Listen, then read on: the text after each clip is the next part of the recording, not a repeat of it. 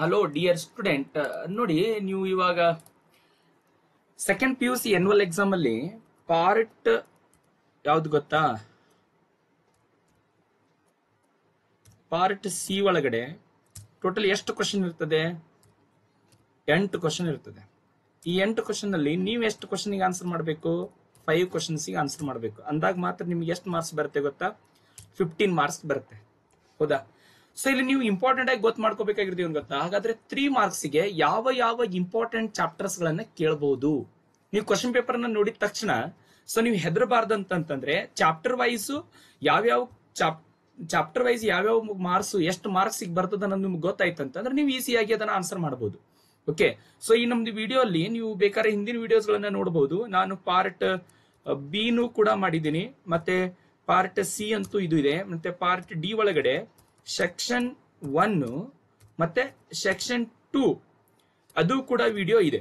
So ನೀವು description link ಅಲ್ಲಿ ಹೋಗಿ ಎಲ್ಲ ವಿಡಿಯೋಸ್ ಸಹಿತ ನೀವು ನೋಡಬಹುದು ಮತ್ತೆ ಪಿ ಡಿ ಎಫ್ ಬೇಕಾದರೂ ಸಹಿತ ನಿಮ್ಗೆ ಪಿ ಡಿ ಎಫ್ ಸಿಗ್ತದೆ.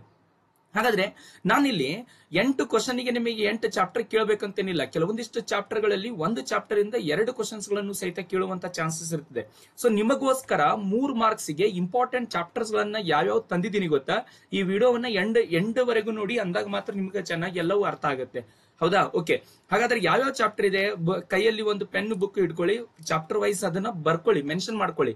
ಯಾವ್ಯಾವ ಚಾಪ್ಟರ್ ತ್ರೀ ಮಾರ್ಕ್ಸ್ ಕೇಳ್ತಾರೆ, ಮತ್ತೆ ಯಾವ ರೀತಿ ಕ್ವಶನ್ಸ್ ಗಳನ್ನ ಕೇಳ್ತಾರೆ? ಸೊ ಒಂದನೇ ಚಾಪ್ಟರ್ ಯಾವ್ದು ಗೊತ್ತಾ? ತ್ರೀ ಮಾರ್ಕ್ಸ್ಗೆ ಹ್ಯೂಮನ್ ರಿಪ್ರೊಡಕ್ಷನ್ ಈ ಹ್ಯೂಮನ್ ರಿಪ್ರೊಡಕ್ಷನ್ ಅಲ್ಲಿ ಮೂರ್ ಮಾರ್ಕ್ಸ್ಗೆ ಕೇಳುವಂತ ಕ್ವಶನ್ಸ್ ಆದ್ರೂ ಯಾವ್ದು ಇರಬಹುದು? ನೋಡಿ write the functions of followings ಅಂದ್ರೆ ಇಲ್ಲಿ scrotum Sertoli cell Leydig cells bulbourethral gland fimbriae ನಾನು ಈ ರೀತಿ ನಾಲ್ಕೈದು ಆರ್ಗನ್ಸ್ ಗಳನ್ನ ಮೆನ್ಷನ್ ಮಾಡಿದೀನಿ ಬಟ್ ಅವರು ತ್ರೀ ಮಾರ್ಕ್ಸ್ಗೆ ಈ ಮೂರೇ ಮೂರು ಆರ್ಗನ್ಸ್ ಗಳನ್ನ ಮೆನ್ಷನ್ ಮಾಡಿ, ಇದರದ್ದು ಫಂಕ್ಷನ್ಸ್ ಅನ್ನ ಬರೀರಿ ಅಂತ ಕೇಳಬಹುದು ಹಾಗಾದ್ರೆ ಸ್ಕ್ರಾಟಮ್ ಏನ್ ಕೆಲಸ ಮಾಡ್ತದೆ? Helps in maintaining the low temperature of the testis ಅದೇ ರೀತಿ ಫಿಂಬ್ರಿಯಾ ಏನ್ ಕೆಲಸ ಮಾಡುತ್ತೆ? Collection of ovum after ovulation ನೋಡಿ name the male accessory gland present in reproductive system of human human male reproductive system ಅಲ್ಲಿ ಪ್ರೆಸೆಂಟ್ ಇರುವಂತಹ accessory glands ಯಾವುದು ಅಂತ ಕೇಳಿದಾರೆ. ನೋಡಿ accessory glands ಯಾವ್ದಿದೆ? Paired seminal vesicle a prostate gland ಮತ್ತೆ paired ಬಲ್ಬೋ ಯುರಿಥ್ರಲ್ glands ಬಹಳ easy ಆಗಿರುವಂತ ಕ್ವಶನ್ ಕೇಳ್ತಾರೆ ಬಟ್ ಅನಾಲಿಸಿಸ್ ಮಾಡುವಂತ ಎಬಿಲಿಟಿ ನಿಮ್ಮಲ್ಲಿ ಇರಬೇಕು. Write the chemical composition of seminal plasma fructose calcium ಮತ್ತೆ ಸರ್ಟೆನ್ ಎನ್ಸೈಮ್ಸ್ ಇರ್ತದೆ, ಯಾವುದು seminal ಪ್ಲಾಸ್ಮಾದಲ್ಲಿ name the different parts which constitute female accessory duct ಹಾಗಾದ್ರೆ ಫಿಮೇಲ್ ಎಕ್ಸೆಸರಿ ಡಕ್ಟ್ ಎಷ್ಟು ಪಾರ್ಟ್ ಗಳಿಂದ ಮಾಡಲ್ಪಟ್ಟಿದೆ, ಮತ್ತೆ ಆ ಪಾರ್ಟ್ಗಳು ಯಾವ್ಯಾವು? ನೋಡು ಓವಿಡಕ್ಟು ಫ್ಯಾಲೋಪಿಯನ್ ಟ್ಯೂಬ್ ಯೂಟೇರಸ್ ಮತ್ತೆ vagina. Mention the three different wall layer of tissue present in uterus ನೋಡಿ ಯೂಟೆರಸ್ ಅಲ್ಲಿ ಪ್ರೆಸೆಂಟ್ ಇರುವಂತ ಮೂರು ಟಿಶ್ಯೂ ಯಾವ್ದಂತ ಹೆಸರು ಹೇಳಿ ಅಂತ ಕೇಳಬಹುದು ಮತ್ತೆ ಅದು ಅದರದ್ದು ಫಂಕ್ಷನ್ಸ್ ಸಹಿತ ಮ್, ಬರೀರಿ ಅಂತಾನು ಕೂಡ ಕೇಳಬಹುದು ನೋಡಿ perimetrium myometrium endometrium explain the mechanism of regulation of spermatogenesis ಈ ಸ್ಪರ್ಮ್ಯಾಟೋಜೆನೆಸಿಸ್ ರೆಗ್ಯುಲೇಷನ್ ಏನು? ನೋಡಿ ಎಕ್ಸ್ಪ್ಲೇನ್ ದ ಮೆಕ್ಯಾನ್ ರೆಗ್ಯುಲೇಷನ್ ಅಂತಂದ್ರೆ ಕಂಟ್ರೋಲ್ ಮಾಡೋದು. ಸ್ಪರ್ಮ್ಯಾಟೋಜೆನೆಸಿಸ್ ಯಾವ ರೀತಿ ಕಂಟ್ರೋಲ್ ಆಗುತ್ತೆ? ಸೊ ನಿಮ್ಗೆ ಆಲ್ರೆಡಿ ಗೊತ್ತು ಗಂಡು ಮಕ್ಕಳಲ್ಲಿ ಅಂತಂದ್ರೆ ಮೇಲ್ ಹ್ಯೂಮನ್ ಬೀಯಿಂಗ್ಸ್ ಅಲ್ಲಿ spermatogenesis it begins at puberty okay hypothalamus ಏನ್ ಮಾಡುತ್ತೆ ಗೊತ್ತಾ? ಒಂದು ಹಾರ್ಮೋನ್ ಅನ್ನ ಸೀಕ್ರೆಟ್ ಮಾಡುತ್ತೆ. ಆ ಹಾರ್ಮೋನ್ ಅದ ಹೆಸರೇನು? ಗೊನಾಡೋಟ್ರೋಪಿನ್ ರಿಲೀಸಿಂಗ್ ಹಾರ್ಮೋನ್ ಈ ಗೊನಾಡೋಟ್ರೋಪಿನ್ ರಿಲೀಸಿಂಗ್ ಹಾರ್ಮೋನ್ ಏನ್ ಮಾಡತ್ತಂದ್ರೆ ಎಂಟೀರಿಯರ್ ಪಿಟ್ಯುಟರಿ ಗ್ಲ್ಯಾಂಡಿಗೆ ಸ್ಟಿಮ್ಯುಲೇಟ್ ಮಾಡಿ ಅದರಿಂದ ಎರಡು ಹಾರ್ಮೋನ್ ಸಿಕ್ರಿಟ್ ಮಾಡುವ ಹಾಗೆ ಮಾಡ್ತದೆ. ಹಾಗಾದ್ರೆ ಇಲ್ಲಿ anterior pituitary gland luteinizing hormone L H ಒಂದು ಮತ್ತೆ follicle stimulating hormone F S H ಈ ಎರಡು ಹಾರ್ಮೋನ್ ಅನ್ನ ಸೀಕ್ರೆಟ್ ಮಾಡುತ್ತೆ.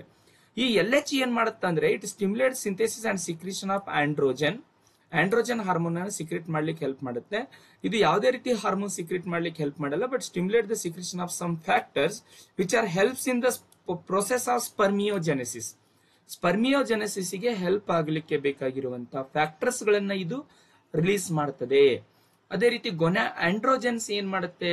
Stimulate the process of spermatogenesis ಹಾಗಾದ್ರೆ ಇಲ್ಲಿ ಸ್ಪರ್ಮ್ಯಾಟೋಜೆನೆಸಿಸ್ ಮತ್ತೆ ಸ್ಪರ್ಮಿಯೋಜೆನೆಸಿಸ್ ಎರಡು ಪ್ರೊಸೆಸ್ ಡಿಫ್ರೆಂಟಾ ಎಸ್, ಅದು ಡಿಫ್ರೆಂಟೇ ಯಾವ ರೀತಿ ಅಂತ ನೀವು ನೋಡ್ಕೊಳ್ಳಿ ನೋಟ್ಸ್ ಅಲ್ಲಿ ಇದೆ ನೋಡಿ.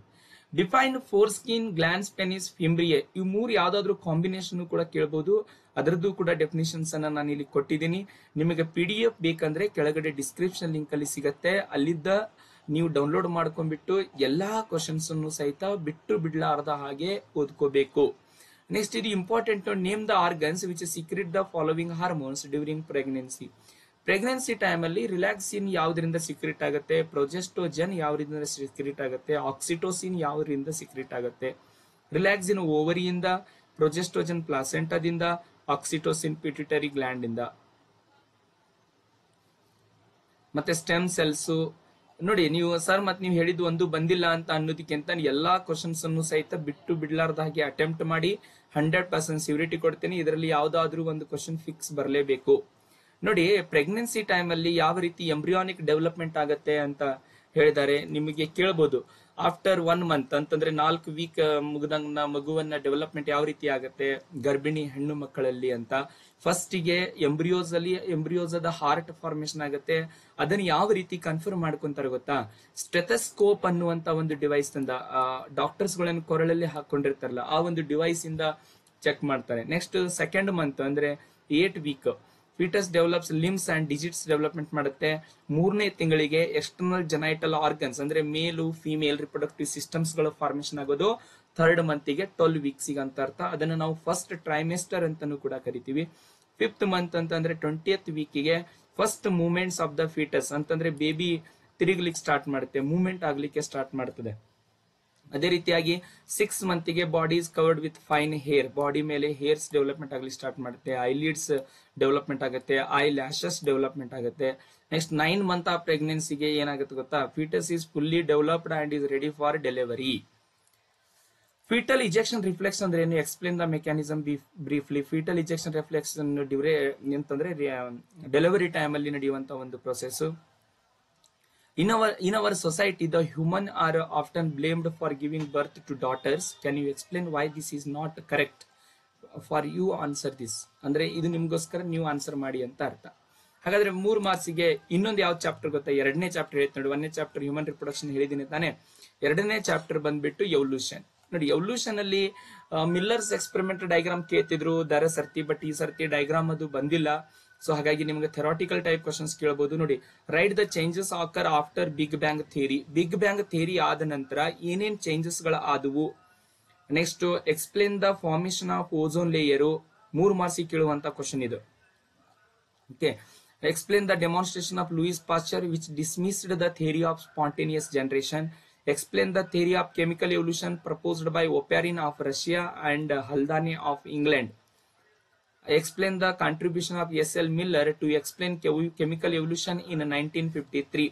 S L Miller ಏನ್ ಮಾಡ್ತಾನಂದ್ರೆ at hundred degree Celsius temperature ಒಳಗಡೆ methane C H four H two N H three ಮತ್ತೆ ವಾಟರ್ ವೇಪರ್ ಅನ್ನ ಹಾಕಿ ಅಮೈನೋ ಆಸಿಡ್ಸ್ ಫಾರ್ಮೇಶನ್ ಆಗೋದನ್ನ ನೋಡ್ತಾನೆ ಅದೇ ರೀತಿಯಾಗಿ ಇದೇ ಎಕ್ಸ್ಪೆರಿಮೆಂಟ್ ಬೇರೆದರ ಅಬ್ಸರ್ವ್ ಮಾಡಿದಾಗ ಶುಗರ್ಸು ನೈಟ್ರೋಜನ್ ಬೇಸಸ್ ಮತ್ತೆ ಕೆಲವೊಂದಿಷ್ಟು ಫ್ಯಾಟ್ ಪಿಗ್ಮೆಂಟ್ಸ್ ಸಿಗುತ್ತೆ ಬಟ್ ಇವರಿಗೆ ಸಿಕ್ಕಿದ್ ಯಾವ್ದು ಹೇಳಿ amino acids explain the theory of biogenesis biogenesis ಥಿಯರಿಯನ್ನ explain ಮಾಡಿ ಅಂತ ಮೂರು ಮಾರ್ಕ್ಸಿಗೆ ಕ್ವಶನ್ ಕೇಳಬಹುದು write any three evidences for evolution evolution ಆಗಿದೆ ಅಂತ ಏನು ಪ್ರೂಫ್ ಇದೆ ಅಂತ ಕೇಳಬಹುದು ನೆಕ್ಸ್ಟ್ ಡಾರ್ವಿನಿಯನ್ ಸಿ ಓವೇಜ್ ಅಲ್ಲಿ ಹೋದಾಗ ಯಾವ್ಯಾವ ಟರ್ಮ್ಸ್ ಗಳನ್ನ ಅವನು ಫೈಂಡ್ ಔಟ್ ಮಾಡಿದ ಅದ್ರ ಬಗ್ಗೆ ಕೇಳಬಹುದು write the examples of anthropogenic action write the difference between homologous and analogous organs with example ಇದು ಎರಡು ಮಾರ್ಕ್ಸ್ ಸಹಿತ ಬರುವಂತ ಒಂದು ಚಾಪ್ಟರ್ ಓಕೆ ಎರಡು ಮಾರ್ಕ್ಸಿನ ಕೇಳ್ತಾರೆ, ಮತ್ತೆ ಮೂರು ಮಾರ್ಕ್ಸಿನೂ ಕೂಡ ಒಂದು ಕ್ವಶನ್ ಫಿಕ್ಸ್ ಕೇಳ್ತಾರೆ. What is Hardy Weinberg principle write the factors which affecting on it Hardy Weinberg principle ಅಂದ್ರೆ ಏನು? ಮತ್ತೆ ಯಾವ್ಯಾವ ಫ್ಯಾಕ್ಟರ್ಸ್ ಅಫೆಕ್ಟ್ ಆಗುತ್ತೆ? Gene flow genetic drift mutation genetic recombination ಮತ್ತೆ natural selection next explain the brief account of evolution evolution brief account ಅಂತಂದ್ರೆ two thousand million years ಯುಗದಲ್ಲಿ ಏನಾಗಿತ್ತು? Five hundred million years ಏನಾಗಿತ್ತು ಅಂತ. ನೆಕ್ಸ್ಟ್ ಎವಲ್ಯೂಷನ್ ಆಫ್ ಮ್ಯಾನದ ಬಗ್ಗೆನೂ ಕೂಡ ಕೇಳಬಹುದು ಕೆಲವೊಂದಿಷ್ಟು ಒಬ್ಬರದ ಹೆಸರು ಹೋಮೋಸೇಪಿಯನ್ ಬಗ್ಗೆ ಡಿಸ್ಕ್ರೈಬ್ ಮಾಡಿ ಅಂತ ಮೂರ್ ಮಾರ್ಸಿಗೆ ಇಲ್ಲ ಡ್ರಯೋಪಿಥಿಕಸ್ ರಾಮಾಪಿಥಿಕಸ್ ಬಗ್ಗೆ ಡಿಸ್ಕ್ರೈಬ್ ಮಾಡಿ ಅಂತ ಮೂರ್ ಮಾರ್ಸಿ ಕೇಳುವಂತ ಚಾನ್ಸಸ್ ಇರುತ್ತದೆ ಮೂರ್ ಮಾರ್ಸಿಗೆ ಎರಡು ಕ್ವಶನ್ ಬರುವಂತ ಚಾಪ್ಟರ್ ಯಾವ್ದು ಗೊತ್ತಾ? ಬಯೋಟೆಕ್ನಾಲಜಿ ಅಂಡ್ ಇಟ್ಸ್ ಅಪ್ಲಿಕೇಶನ್ ನೋಡಿ ಬಯೋಟೆಕ್ನಾಲಜಿ ಅಂಡ್ ಇಟ್ಸ್ ಅಪ್ಲಿಕೇಶನ್ಸ್ ಇಂದ ಎರಡು ಮಾರ್ಕ್ಸ್ ಇಂದು ಸಾರಿ ಎರಡು ಕ್ವಶನ್ಸ್ ಬರ್ತದೆ ಮೂರ್ ಮಾರ್ಕ್ಸಿಗೆ ಹಾಗಾದ್ರೆ ಯಾವ್ಯಾವ ಕ್ವಶನ್ಸ್ ಕೇಳಬಹುದು mention three critical areas of biotechnology ನಮ್ದು ಮಾಡೆಲ್ ಕ್ವಶನ್ ಪೇಪರ್ ಅಲ್ಲಿ ಕೊಟ್ಟಿದ್ದಾರೆ ನೋಡಿ.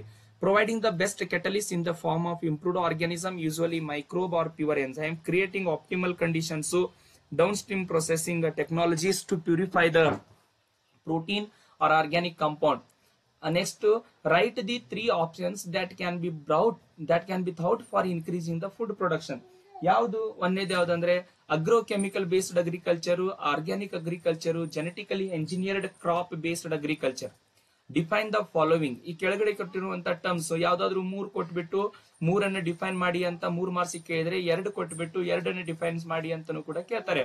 Write the chemical composition of culture media used in tissue culture tissue culture ದಲ್ಲಿ ಯೂಸ್ ಮಾಡುವಂತ ಕಲ್ಚರ್ ಮೀಡಿಯಾದು ಕೆಮಿಕಲ್ ಕಾಂಪೋಸಿಷನ್ ಏನೇನು ಆಡ್ ಮಾಡ್ತಾರೆ? ಕಾರ್ಬನ್ ಸೋರ್ಸ್ ಆಗಿ ಸುಕ್ರೋಸ್ ಅನ್ನು ಯೂಸ್ ಮಾಡ್ತಾರೆ.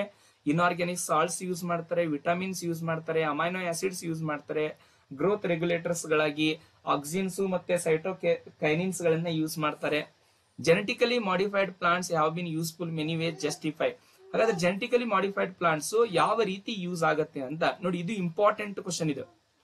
ಓಕೆ, ಯೂಸ್ಫುಲ್ ಮೆನಿ ವೇಸ್ ನೋಡಿ, genetically modified plants ಏನಿದಾವಲ್ಲ, made crops more tolerant to the abiotic stresses reduce reliance on chemical pesticides helped to reduce post harvest losses post harvest losses ಅಂತಂದ್ರೆ ನಾವು ರಾಶಿ ಮಾಡುವಾಗ ಏನ ವೇಸ್ಟ್ಗಳು produce ಆಗತ್ತಲ್ಲ? Genetically modified plant ದಿಂದ ಹೆಚ್ಚು ವೇಸ್ಟ್ ಪ್ರೊಡ್ಯೂಸ್ ಆಗಂಗಿಲ್ಲ.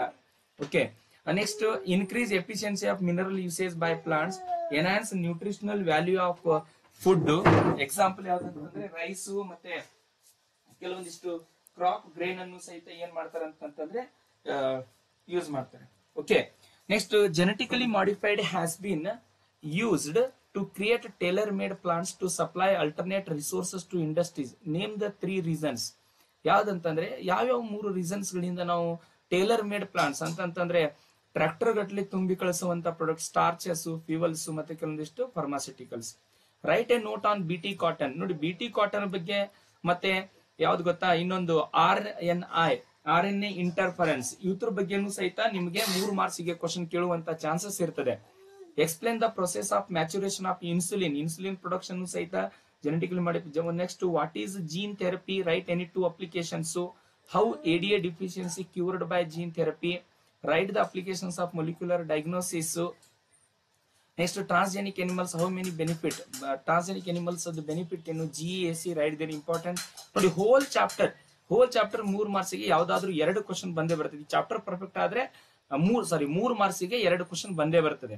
ನಿಮಗೆ ಪಿ ಡಿ ಎಫ್ ಬೇಕಾದ್ರೆ ಕೆಳಗಡೆ ಡಿಸ್ಕ್ರಿಪ್ಷನ್ ಲಿಂಕ್ ಅಲ್ಲಿ ಕೊಟ್ಟಿರ್ತೇನೆ. ನೆಕ್ಸ್ಟ್ ಲಾಸ್ಟ್ ಚಾಪ್ಟರ್ ಅಂದ್ಬಿಟ್ಟು ಯಾವ್ದು ಗೊತ್ತಾ? ಇಕೋ ಸಿಸ್ಟಮ್ ಈ ಇಕೋ ಸಿಸ್ಟಮ್ ಟಾಪಿಕ್ ಅಲ್ಲಿ ಎರಡು ಮಾರ್ಕ್ಸಿಗೆ ಸಾರಿ ಎರಡು ಮಾರ್ಕ್ಸ್ ಬರ್ತದೆ ಎರಡು ಮಾರ್ಕ್ಸಿಗೆ ಹೇಳಿ. ಮೂರ್ ಮಾರ್ಕ್ಸಿಗೆ ಯಾವ್ಯಾವ ಕ್ವಶನ್ಸ್ ಕೇಳುವಂತ ಚಾನ್ಸಸ್ ನೋಡಿ.